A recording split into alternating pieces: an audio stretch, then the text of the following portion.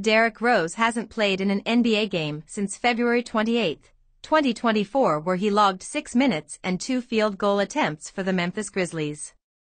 He's been out since then, nursing a lower back and groin injury and due to his absence from the floor, it seems as though a fake news account took advantage of it.